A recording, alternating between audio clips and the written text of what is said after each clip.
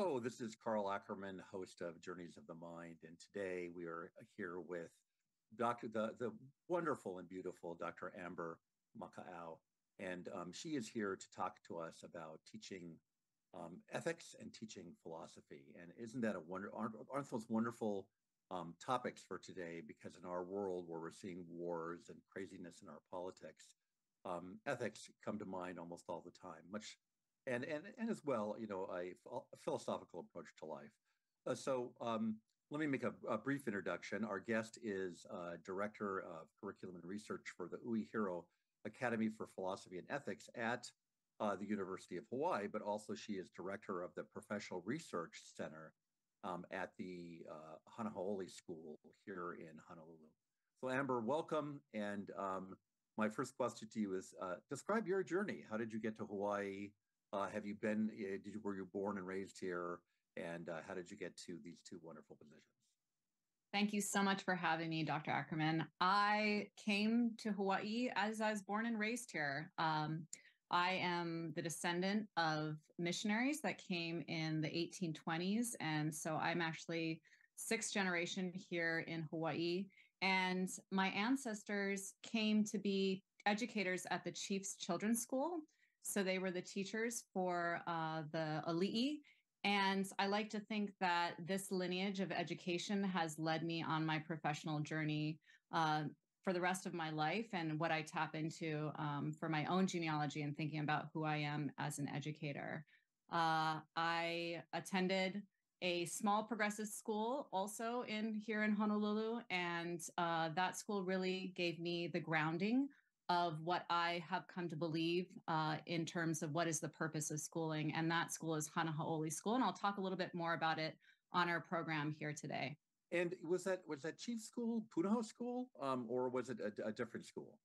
It was the Royal School. So this was the school that was um, for the kings and queens children um, at a time period, uh, interesting time period in Hawaiian history, uh, when the Ali'i were seeking um, influence from the West in terms of wanting to know more about how this could influence their thinking about running the kingdom. And um, Protestant missionaries came from the East Coast of the United States to be teachers there. And those were uh, two of my ancestors. And um, a number of them also went on to be influential at Punahou School as well.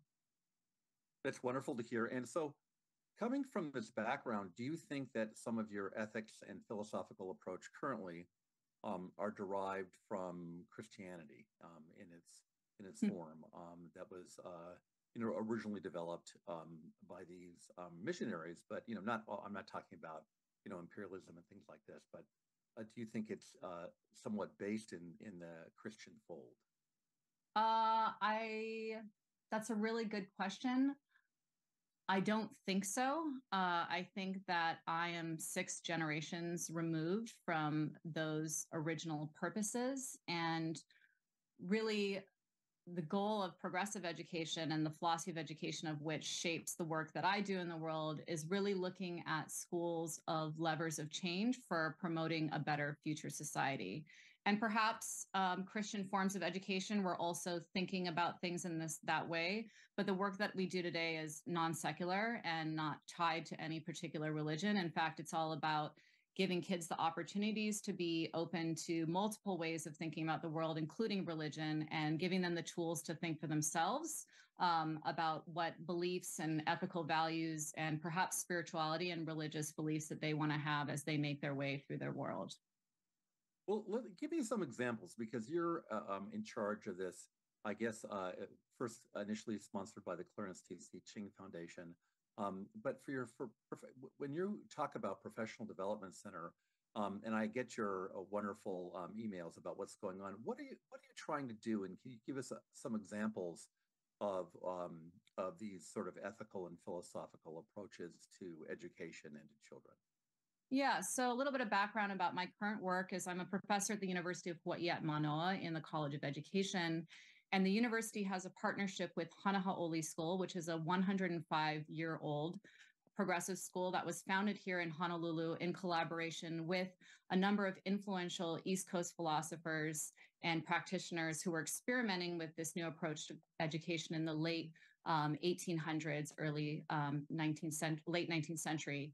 And um, the school was really founded around this idea of we need to use education as a tool to help our democracy thrive into future generations. And what we need in a democracy is people who can think for themselves. They need to know what it means to belong to a strong and caring community where they are respectful and thoughtful of other people, that they know how to work collaboratively, that they learn by doing and then reflecting on their experience because a lot of our life experiences beyond school are not necessarily textbook bound, but through the actual experiences that we have. And we need to learn how to use those experiences, reflect on them to either improve ourselves or improve the world that we live in.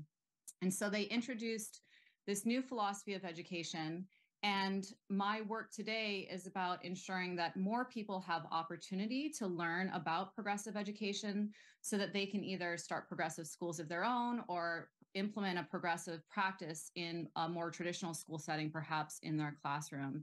So the entire project is really framed around this idea of how can we use schools to create a better future society. And my mission is to build a partnership with the university and leverage the resources of the university and the school as a living laboratory where this has been happening in practice for 105 years to give people the opportunity to experience it for themselves and then think about what this might look like in their own educational settings. Um, that's a wonderful framework. And so, what comes to mind immediately um, is uh, John Dewey. And how closely are you linked uh, to the philosophy of John Dewey? we're we're cl- we're closely linked to the philosophy of John Dewey. Um, it, Hawaii has such an interesting progressive education history. I've actually just returned from a sabbatical where I've been doing uh, some research on this. And in the late 1890s, early early uh, wait, late 1880s, early 1990s, there was a superintendent of schools in Hawaii named H.S. Townsend, and he was learning about folks like Francis Parker and John Dewey, who were experimenting with progressive education at the University of Chicago. In Chicago, Dewey had an experimental school, uh, and Francis Parker helped run the Teachers College alongside the school where people could be learning how to teach and then experiment with that type of teaching in John Dewey's experimental lab school. And H.S. Townsend became connected to John Dewey and Francis Parker through the Castle family, um, who had a family relationship with, it's a long story, but with the um, department head at, in the philosophy department at the University of Chicago, was married to a Castle. And through that exchange, got this um, merging of intellectual ideas about how we can use schools to create a better society. And the Castles really did a lot of work of creating free kindergartens in Hawaii around that time period. And then Townsend did work to bring the ideas of Dewey and Parker to Hawaii. And he did this uh, as the principal at Lahainaluna School, where he was experimenting with how can we have more progressive approaches in our public school system. And for, for folks that are familiar with Hawaii and Hawaii's educational history, you know that Lahainaluna had a printing press.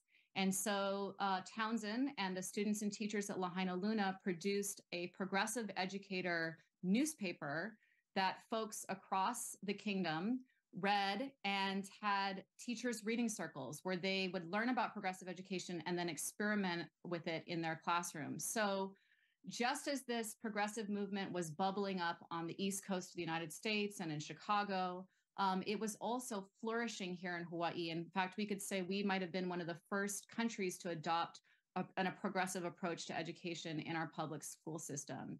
And so through this relationship, long story short, John Dewey visited Hawaii three times to give a series of lectures. Uh, these lectures actually were led to the founding of the University of Hawaii, and they also built strong relationships between Dewey and a number of folks here in Hawaii. And I'd like to think that that was part of what inspired the founding of Hanahauoli School. Uh, the history is actually that there was a fourth grade teacher uh, from the Francis Parker School in Chicago, who is traveling across the country giving public talks on how children could learn how to read through storytelling rich environments. Sophie Judd Cooke attended the talk, went up to this woman after the talk and said, I'd love to start a school around these principles and philosophies. And so was born uh, Hanahauoli School in 1918. And um, it was a true collaboration with these folks on the East Coast that were experimenting with this approach to education. And in fact, um, John Dewey did visit Hanahauoli School. And I was going to ask you that. As Sophie wrote in her memoirs, he gave it the green light and said, This is everything I was thinking about when I was thinking about a progressive school. And I just want to add that um, even though it was this partnership with the East Coast from the very beginning in 1918, and I would argue the work that Townsend was doing in the public schools around the 1890s, the progressive education that bubbled up in Hawaii was very much place based and relevant to our particular multicultural environment and living in an island in the Pacific. And um, there's a lot of early writing about this in the journal about um, using a Hawaiian epistemology to nature study to teach science, or when you look at Hanahauoli School, the way the whole school is architecturally designed and the different languages that were involved and the strong influence of Hawaiian culture and language in the school, it was really a unique brand for, uh, per se of progressive education that got born here in the islands. Well, you know, from what I know, and you correct me if I'm wrong, Amber, Lahainaluna still has a working farm and all the in, in very Dewey-esque type of style. Um, students would board there. Um, they had a boarding system, um, like the you know fancy prep schools on the East Coast, and they would um, board kids, but they actually made their own food. I mean, they you know they um, you know they harvested crops and they actually used their livestock. Um, you know, they drank the the milk from the cows and things like this. So you know that's a very good example. Is this all true? This is what I've heard and read, but I wanted to make sure it was true about Lahainaluna. Well, I'm no expert on Lahainaluna, but I do know that when Townsend first arrived at Lahainaluna, he was actually coming from Kamehameha Schools, where he was an administrator. Um, the school had kind of fallen into disrepair. And he himself traveled to Honolulu, learned about becoming a draftsman, learned about construction, and he and the students helped repair all of the buildings at the school. So I very much think that that goes along with the spirit that you're describing, um, where the progressives really saw schools as embryonic democracies. And as much as they could, they should resemble life in an ideal democracy where people are working together collaboratively and thinking together about how to make their society run as best as possible. You know, Amber, this brings up another point. Um, you know, we've discussed now, um, you know, your role at Hanahauoli, and obviously this has a great history, this school, and a, a, history in progressive education. Talk a little bit about your role as a professor at the University of Hawaii. Um, are you teaching classes? And of course, these students, um, if you are, would be much more mature and, you know, young adults. So how does that all work? Yeah, I have a really interesting role at the University of Hawaii. We're fortunate to have a role called specialist, uh, and my work is really meant to serve uh, the people of Hawaii through my capacity as a university professor. And so, like I've shared already, part of my role is collaborating and creating a partnership with Hanahauoli School to create professional development programs for people across the state of Hawaii and beyond aligned to our progressive mission. In addition to that, uh, I also work in a teacher preparation program. I primarily work with social studies teachers I was a high school social studies teacher at Kailua High School for over 10 years prior to coming to the University of Hawaii at Manoa. So I'm able to share from my personal experience um, from teaching in the DOE, um, as well as my experience with progressive education. Uh, we also have a master's program in progressive, uh, progressive philosophy and pedagogy that I co-direct with Dr. Chad Miller. And this is a graduate program where folks um, get to use places like Hanahauoli and then a number of our partner schools in the Department of Education to experiment uh, with progressive education and grow as progressive educators. And my final role at the university, I know it seems like a lot, is I collaborate uh, with the College of Arts, Languages, and Letters at the Uehiro Academy for Philosophy and Ethics and Education. And the Uehiro Academy is the home of philosophy for children. And Philosophy for Children is a worldwide movement that was started by an academic philosopher uh, from the East Coast as well at Montclair University. And his name was Matthew Lipman, and he was a philosophy professor, and he was getting students in his college level classes that he didn't think thought as well as they should or cared as much as they should for life in a democratic society. And you can tell he was influenced by the writing of John Dewey as well. And he believed that if you introduced philosophy into the K 12 setting, then this would help improve children's affect and their dispositions towards school, as well as their thinking. And we are so fortunate to have an incredible human, Dr. Tom Jackson, who got to learn about philosophy for children from Matthew Lipman Uh, as a philosophy professor here at the University of Hawaii at Manoa, and through his tireless uh, devotion to this work, has helped to found the Uehiro Academy. And uh, what we do is support teachers and educators, researchers, and scholars worldwide who are interested in learning more about philosophy for children. And you might be thinking in your head, you know, what does that mean? Are we having kids study Plato and Aristotle and Confucius? But really, what it is, it's about this idea of little p philosophy. We acknowledge that there is a canon of big P philosophers that are worth reading and studying, but at, at its heart, we are all born philosophers. We're all born with wonder and asking questions and this capacity to want to think big about what is our place in the world? How does it work? How do I fit into the world? And uh, so we can use philosophy, uh, the activity of philosophy, in any classroom to help build these capacities in children. And my coming back to my story of having gone to a progressive elementary school uh, and then wanting to become a teacher and really wanting to emulate a lot of the practices that I'd experienced as a child when I was learning to become a teacher at the University of Hawaii at Manoa. I took Tom Jackson's class and it all of a sudden everything clicked. I had these ideas in my head about the type of teacher that I wanted to be learning by doing, constructivist, asking questions, learning how to think, building community. But I didn't have a classroom practice to bring that to life. And when I learned about philosophy for children, this was an actual practice that I could translate my progressive philosophy of education into the work that I did in my classroom. So for over 10 years in the Department of Education, I used philosophy for children or a philosopher's pedagogy as my approach to teaching high school social studies. That's wonderful. And you know, you mentioned something um, as an aside, and I think it's important for our viewers to know that when you're talking about, you know, basically um, uh, the 19th century, you're talking about the Hawaii Kingdom and then the territory until the 1950s of, of Hawaii, and then eventually statehood. Um, also, you know, you, you brought up the DOE and you're teaching in the DOE.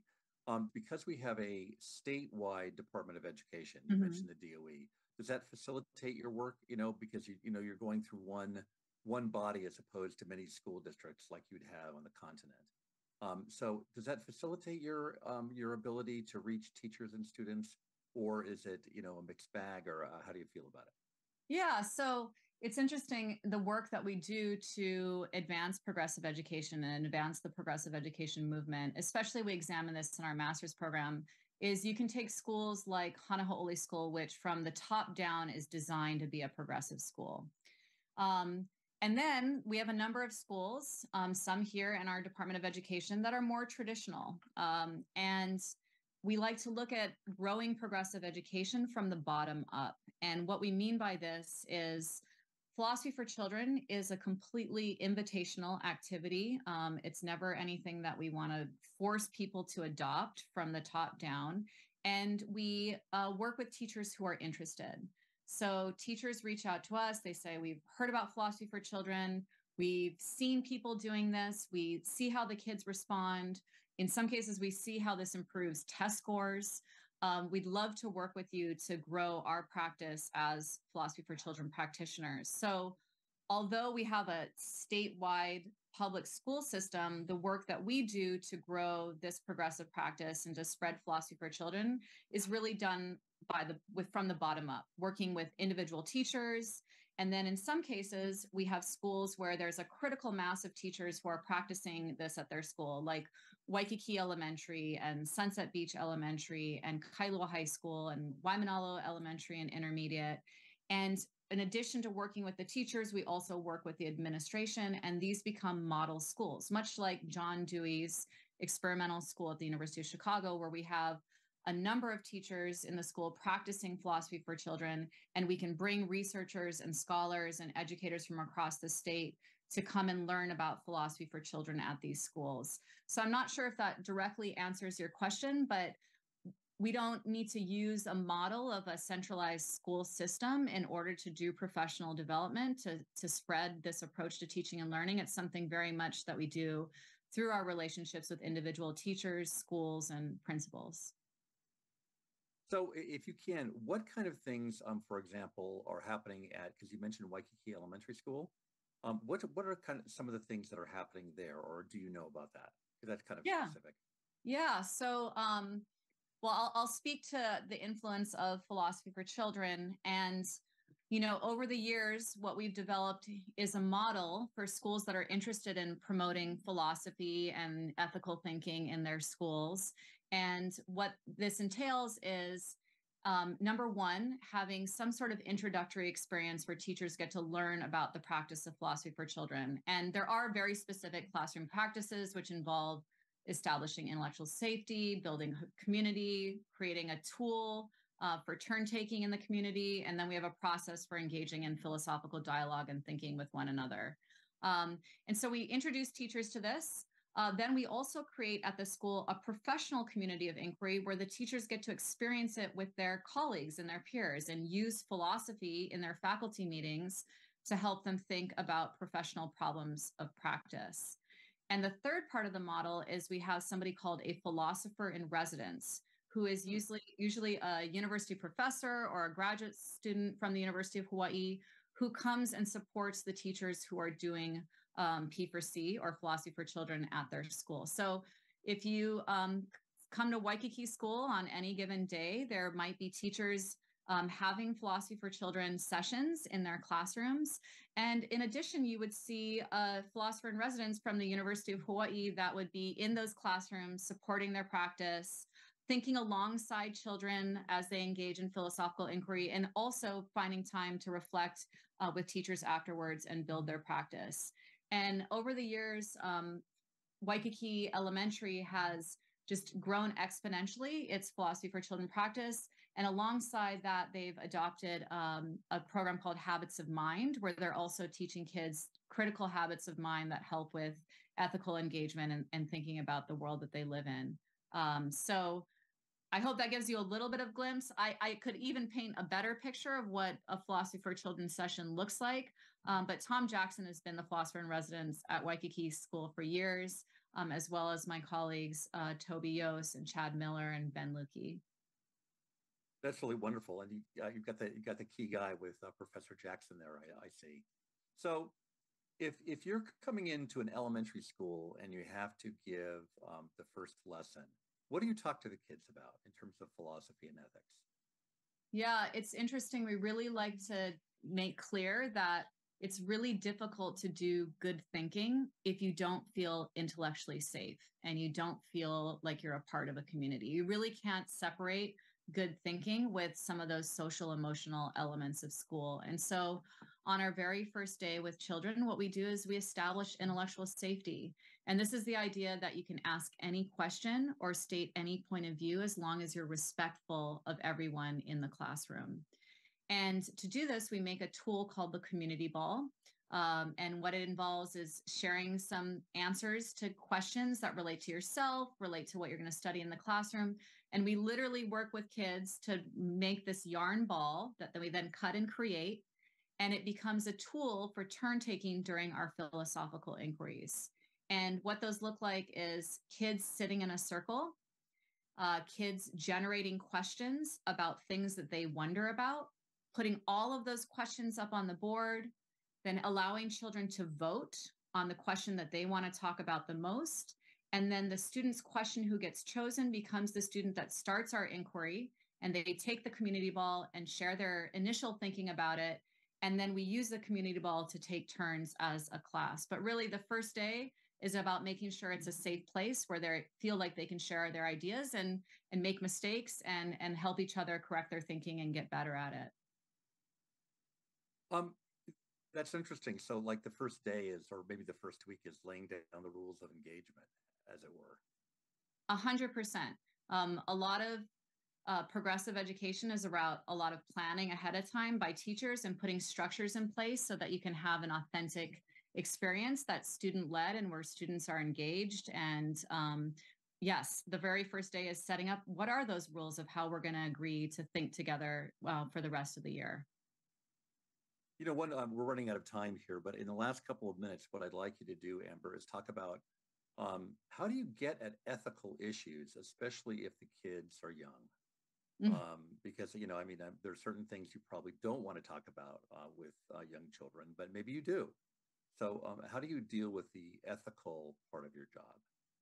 Well, uh, children are born curious. Um, they are observing a lot more about the world we live in than many times adults give them credit for. And in the work that we do, we really want the questions to come from children. And so, as children are experiencing the world around them, whether that be in their families, whether it be something they saw on the news as they get increasingly older in social media, uh, we ask them to generate questions about things that they're curious from. And from there, we build out the inquiry. And uh, the ways in which adults support this, right, is that they're able to offer additional perspectives or points of view, or they start to think about, wow, the, the children are really interested in fairness. Here's a story I'm going to go find from the library that might bolster our thinking around this. But I think the most important thing when we're talking about approaching ethical issues with children is that it starts from their own wonder and their curiosity about the world. And oftentimes, things that they're finding problematic and that they have deeper questions that they really need adults to think alongside um, with them. And so, what we're really doing is providing a safe space to ask those questions. And then we're giving them tools to think about those questions responsibly with others where they can hear multiple perspectives and points of view. You know, um, you ended with a very nice um, comment, um, and I think it it touches on both uh, philosoph- your philosophical approach and your ethical approach, and that is that there are many, many different uh, points of view and ways of getting at um, different intellectual issues. And I, I, think that's such a such a, a nice way um, to um, end this. But I have one last question: Is so will you continue this work, or are you are you um, investigating other work. Um, you were talking about writing, doing some um, work about John Dewey coming to Hawaii. Um, what's your what's the future look like uh, for uh, Dr. Amber uh, Makaiau? I am 100% committed to continuing this work here in Hawaii. I um, am currently really focused on how do we strengthen university and school partnerships to help use schools to create a better future society. And I think this is something that Dewey and Parker were really trying to crack at the University of Chicago over 130 years ago. And so I'm determined to find um, institutional structures where we can be working as a larger system of education to make the lives of children and our communities better, as well as our planet that so desperately needs our attention. So, more to come um, along the same strand, but I too like to approach my life as an examined life, and I go where the inquiry takes me uh, and use my experience to build on what I know to help support the work of others that are interested in doing this work as well. Well, um, Dr. Amber Makaiau, we are so grateful for your um, discussion of your philosophical and ethical approach to education and uh, in the larger context of uh, the Dewey, Dewey-esque progressive education thank you for being a member of this uh, podcast. And uh, for all of those watching, uh, Journeys of the Mind comes out every two weeks. And we hope you will spread the news. And of course, anything you can contribute to Think Tech Hawaii would be much appreciated. Aloha. Thank you.